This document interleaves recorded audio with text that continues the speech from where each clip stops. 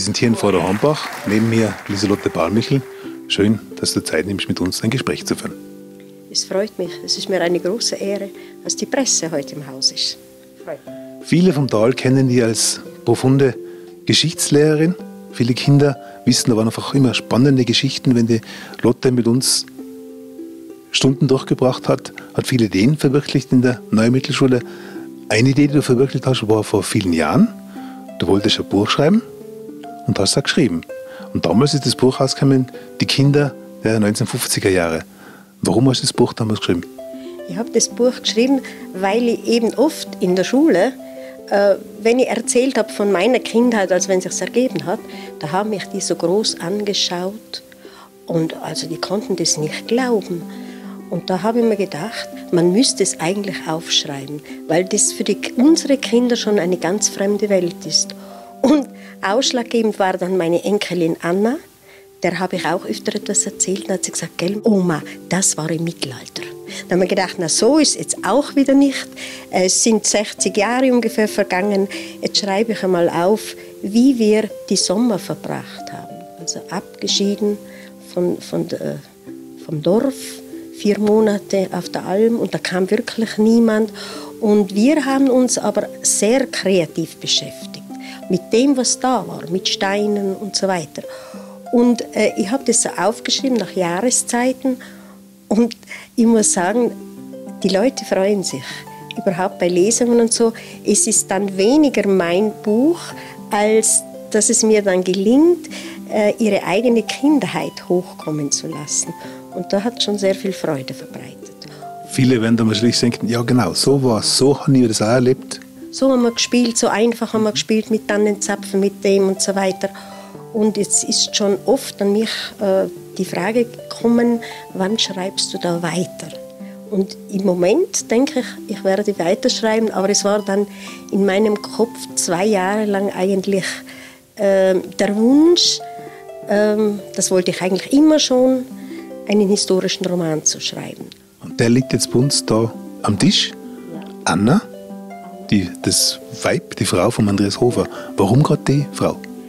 Also ich muss sagen, bei den Recherchen, ich habe viele Recherchen über den Andreas Hofer, bevor meiner Lehramtsprüfung und so weiter, habe ich mich intensiv mit dem beschäftigt, weil er so der erste Held meiner Kindheit war. Also bei uns war es in der Volksschule, ich habe noch eine Oberstufe besucht, da war es anscheinend auch im Lehrplan immer am 20. Februar, der Todestag von Andreas Hofer, war eigentlich der Vormittag hat dem Andreas Hofer gewidmet.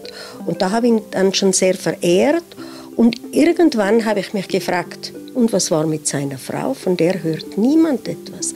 Und da bin ich auf einen Artikel gestoßen, äh, ein relativ kurzer Artikel, Anna, die vergessene Frau. Und den habe ich gelesen und der Schluss hat mich dermaßen fasziniert, die, diese, was die sich getraut hat vor 200 Jahren, dass ich mir gedacht habe, die Frau hole ich aus dem Vergessen heraus.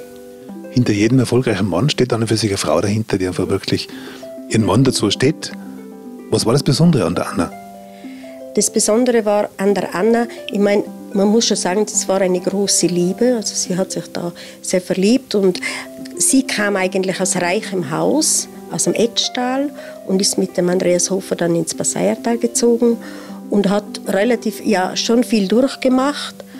Ähm, sie war eher eine verschwiegene, eine duldsame Frau, äh, nicht die, die sich hervorgetan hätte, oder, aber dann, als alles verloren war, als der Andreas Hofer gefangen genommen wurde und sie mit den Kindern in die Schneeberge zu den Kernen flüchten musste und am Weihnachtsabend 1809 dann mit dem Sohn, mit dem einzigen Sohn hinaufging, weil sie gesagt hat, wir helfen, ich habe ihm versprochen, in guten und schlechten Zeiten zu ihm zu stehen.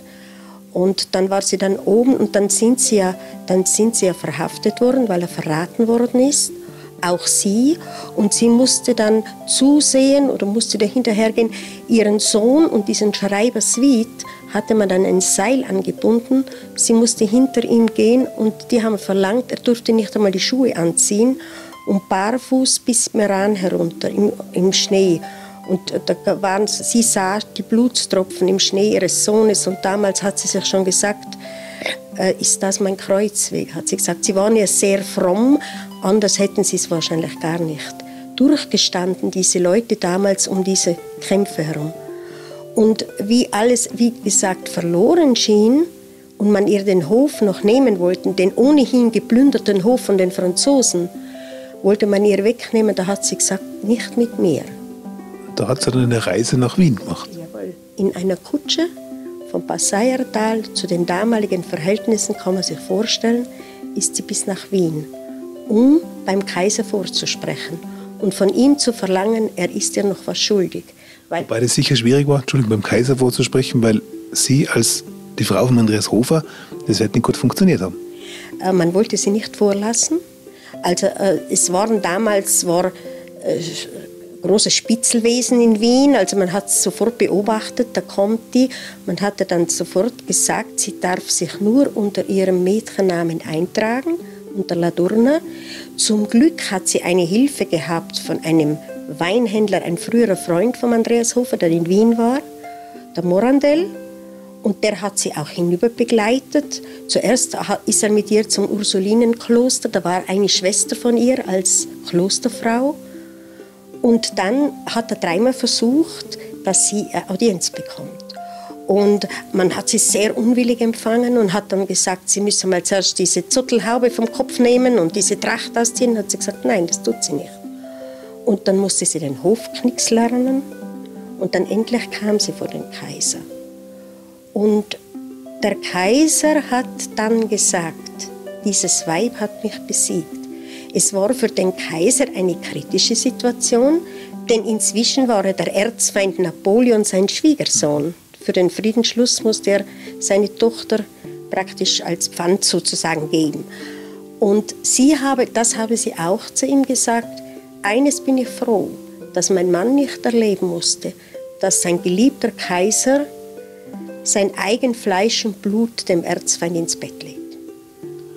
Der geliebte Kaiser, den hatte der Andreas Hofer schon gezeigt, wie er seinem Sohn den Namen von Erzherzog Johann gegeben hat. Ja, der Erzherzog Johann war ja der Bruder, war eigentlich Herzog in der Steiermark, hat aber Tirol sehr geliebt, ist oft gekommen und wurde natürlich vom Kaiser beauftragt, diesen Andreas Hofer, der schon sich hervorgetan hat als großer Führer und, und halt wirklich, der konnte die Bauern begeistern oder ihnen zureden, dass sie in den Kampf ziehen.